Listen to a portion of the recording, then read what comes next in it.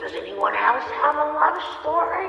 Yes, I do. And just like your love stories, it's tragic and filled with hurt feelings and scars that will never heal.